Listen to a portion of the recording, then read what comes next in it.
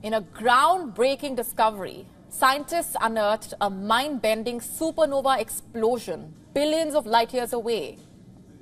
On October 9, telescopes caught a glimpse of high energy uh, photons hurtling towards planet Earth, a chilling sign of an explosion 1.9 billion light years distant. Watch our next report to know more about what supernovas are all about and how they can be dangerous.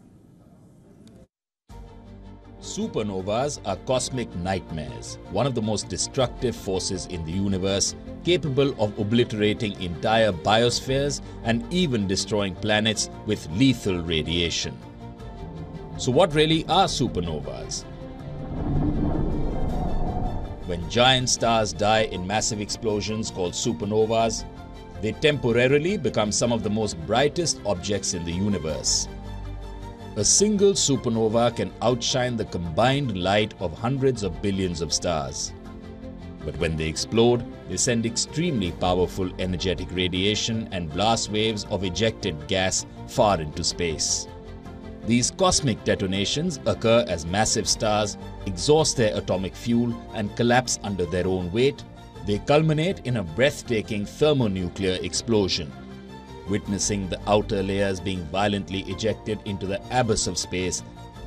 A supernova detonating within a mere 25 light years of Earth can trigger the nightmarish scenario of our atmosphere vanishing, condemning all life to a silent, airless extinction. If the supernova is a little further away from the cosmic scale, the radiation can annihilate a planet's ozone layer casting a lengthening shadow on its fate for years after the initial blast.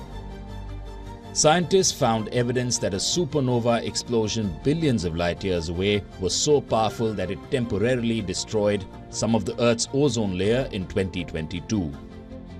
While the likelihood of such a cataclysmic scenario is slim, but the incident of last year shows that our planet is at the mercy of celestial chaos. We are now available in your country. Download the app now. Get all the updates on the move.